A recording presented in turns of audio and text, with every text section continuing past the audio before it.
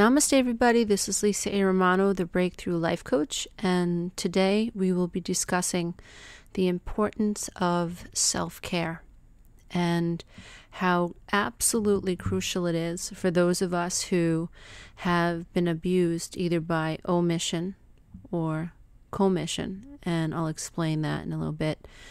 But if you are somebody out there who resonates with the message that in the back of your mind, let's say you're you're going through your day and everything looks perfect and you're one of those people who goes out of his or her way to make sure that everything looks just perfect, that there isn't a step that we miss, there isn't a corner that we don't clean, there isn't a day we go outside not looking our perkiest best to make sure what?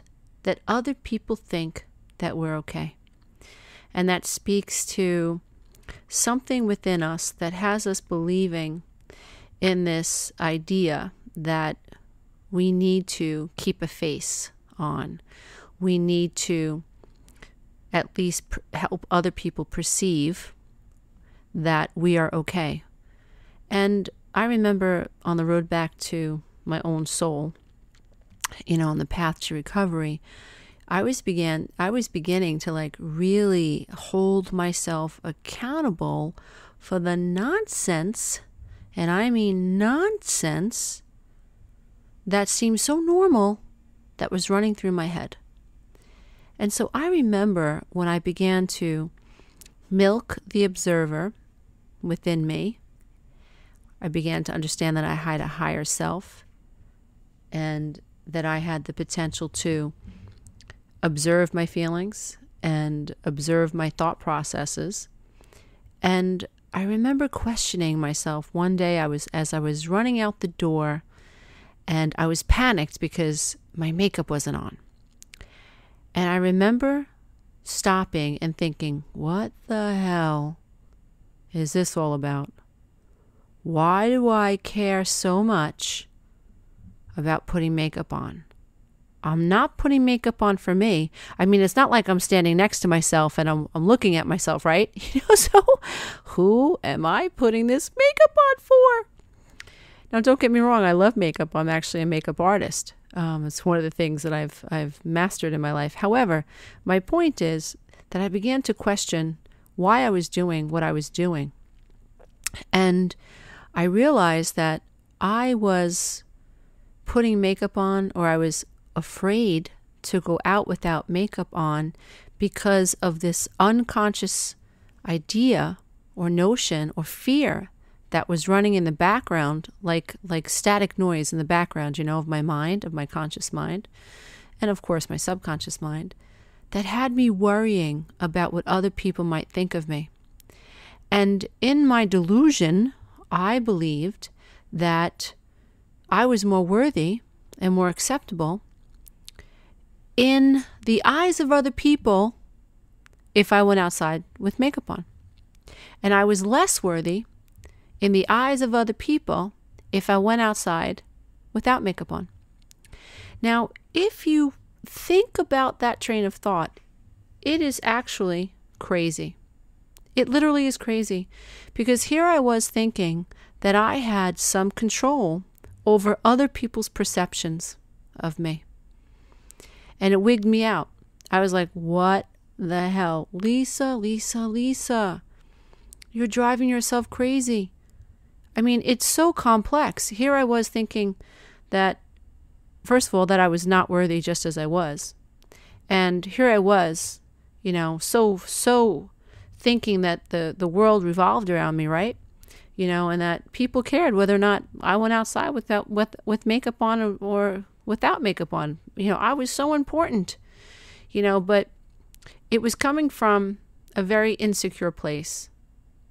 It was coming from a very vulnerable place, a very raw place, a place within me that had me believing that I wasn't good enough and that at least if I put some lipstick on, maybe I would be less not good enough, you know? And maybe if I put some mascara on or made sure my eyebrows were even, you know, at least maybe I would be a little bit more worthy if I did those things, you know. If my car was shiny, maybe I would be less unworthy. I kept chasing this sense of perfection and this sense of worth. And what was happening, I didn't realize it, but all of this was was coming to a point in my life um, that was the result of being conditioned to think that no matter what I did was never good enough. And in all fairness, it wasn't. And that's not a victim comment. You know, that's that's just a fact.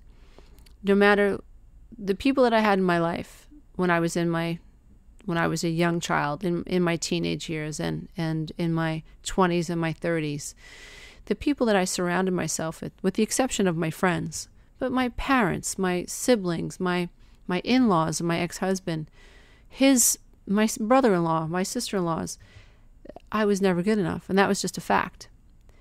And so, of course, what I was doing, like most people do, is I succumb to these ideas that are set in motion by society as well, advertising agencies and whatever. Well, well, if I wear Maybelline, maybe I'll be good enough, and if I'm that weight, maybe I'll be good enough. So all these ideas of maybe I'll be good enough, maybe if I do that, maybe it was all an illusion, and I didn't know that. And because I was so below the veil of consciousness, I was chasing after these ideas that maybe if I do that, maybe I'm, I'll be good enough. And it soothed me, right? So, this unconscious idea that, well, if I put makeup on, then I might be good enough. And it soothed me for the minute, for the moment. And it goes back to the fact that I never saw my mother without makeup, not once, um, as a child. And so, makeup must be important, right? Because that's what all children do. They look for meanings to things um, through what they experience. So if if mommy is upset because you know the dog pisses in the kitchen and acts like this is the worst thing that ever could have happened, then Mary and Johnny grow up thinking that it's a travesty when anything when the dog pisses on the kitchen floor or you know if mommy you know uh, raises Cain when you know, uh, she spills milk off the counter, then the children grow up thinking that this is this is terrible. This is a tragedy when we spill things on the kitchen floor. Children learn through what they experience in their environment. So parents when we assess a value or a meaning to a thing, then our children downloaded with the same ideas. So my mother always wore makeup, so I thought that was important. So getting back to why it's so important to learn how to self care, if you've been abused by omission, that means that you have not received what you needed in terms of emotional support, in terms of psychological invisibility. All children need to know that their parents see them and that they're not just physically, that their parents see them emotionally, that it's very, very important that a child feels attuned with their parent. And parents who are not able to attune themselves to their children because of their own issues, their own addictions, their own codependency issues, um, their own abuse issues, their own depression, um, you know, their own, they're in their own muck and their own mire. You know, parents who are not able to attune themselves to their children emotionally, those, the children of those parents have suffered from emotional and psychological neg- neglect. That's abuse by omission. Even tactile stimulation. It is so important. You know, our skin is the largest organ of the body, and our skin is in contact with this matrix, with this quantum field. And when we are touched lovingly by another person, that helps us feel connected. That helps us feel integrated that helps oxytocin to flow, and that helps us love ourselves. When we are, we don't experience loving tactile stimulation, it makes it that much harder for us to believe that we're good enough. And it also makes us makes it harder for us to self-care in the future. So that's abuse by omission. If you've never been told that you're loved, if you've never been told that you're good, you assume the opposite. I'm not loved and I must be bad. And a lot of well intended parents miss the mark on that. They don't understand the power of touching their child lovingly, holding their hand, brushing their hair, touching their face, stroking their forehead, just looking into their eyes, embracing their little faces and saying, I love you. I love you. I see you. You matter to me. I love you so, so much. You're such a good little girl. You're such a good little boy. There's nothing that you could ever do to make me not love you. I will love you to the moon and back. Every child needs to hear that. And so, if we haven't heard that, we've been abused by omission. Believe it or not. Um, abuse by commission means that you've been abused um, through physically, through domestic violence, through physical abuse, through sexual abuse, um, heinous and horrible, you know. Um, and so, if you've been abused physically and you can point at it and you can identify it, that's abuse by commission. And if, if you've been abused by omission, it's like sort of like being abused by a ghost. You sense that you've been abused, but you, you can't touch it, you can't look at it, you can't identify it. In some cases, that's even harder to point uh, put your finger on, obviously, than it is physical abuse. And so many of my clients have have reported to me that they feel guilty feeling like they have been abused because their parents didn't burn cigarettes into their arms or they weren't sexually abused. They actually have a difficult time even validating their own sadness and feel guilty because they were abused in a way that they can't say, Mom, you did this, which is so, so sad. And so, why is it that it's so important? You know, why is self care so important for people like you and for people like me who have been abused either by omission or commission? It's important that we, as adults, men and women, learn the value of loving the self. And when I say loving the self, I mean we have to learn how to parent ourselves, mother ourselves, and yes, father ourselves. We have to learn how to love ourselves completely and to give ourselves what our parents never gave us. We have to learn how to first have empathy for the self. Imagine yourself a little girl. Imagine the little girl that you are, that you were. Imagine the little boy that you were. And imagine being, you know, four years old or three years old. And imagine what you went through in your life. And imagine just observing that little boy or that little girl's experience like you would a lifetime movie. And think about what you went through when you were little. Think about how that little child felt. And this helps you connect to the inner child within you. And what you will discover, like most people discover, is that you develop a sense of empathy for this little inner person that you are and that you that still exists within you. You know, just because we're 50 I'm 52, but just because we're 50 or 60 or 70 or 20 or 30, that doesn't mean our inner child isn't with us. That inner child is within you and will always be within you. And that experience will always be within you. Your 12 year old self is still within you. All the experiences at every stage of your life have been stored within you.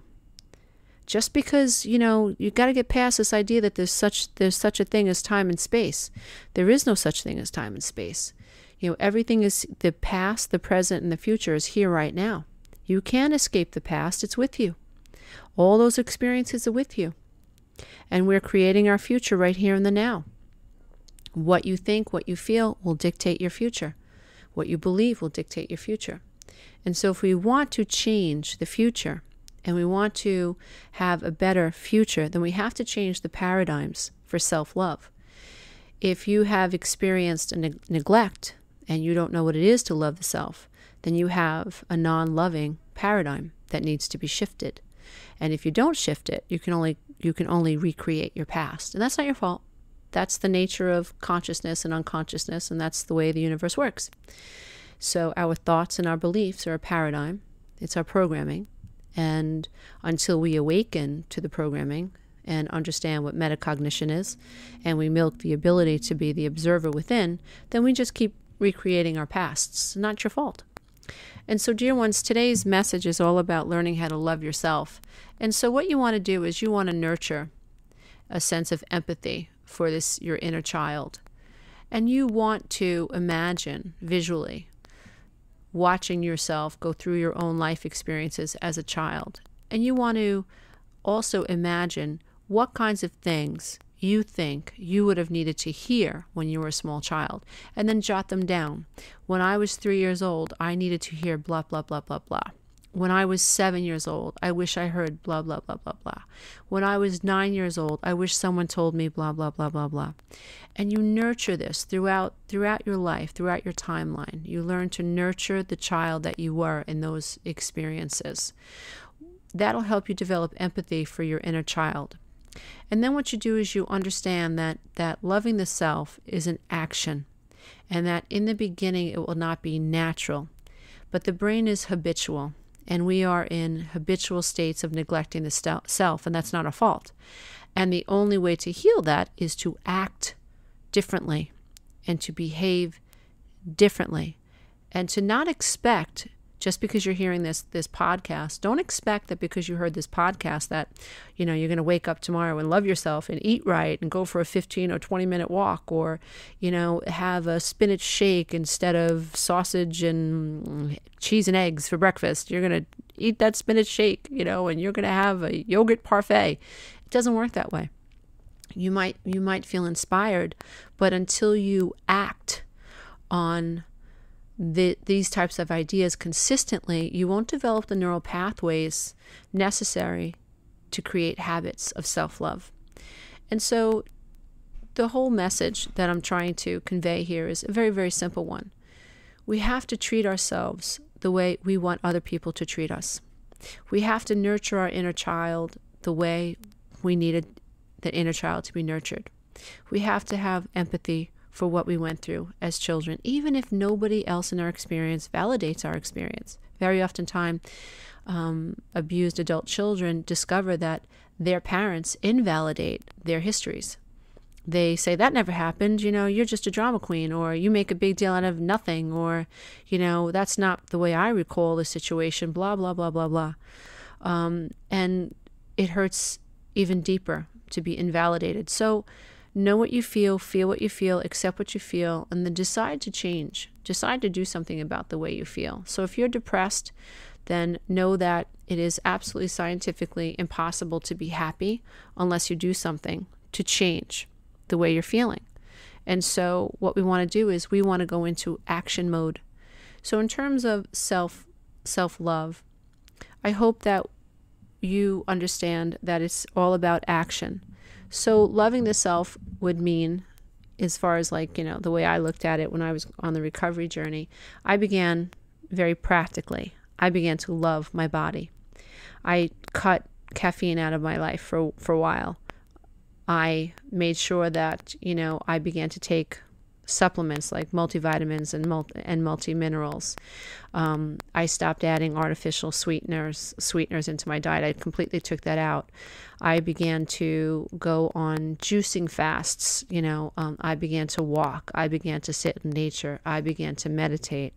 I began to take Epsom salt baths instead of showers. I actually scheduled baths because you know when you're a single mom, if you've got three kids, you know you're lucky you can take a shower a couple of times a week.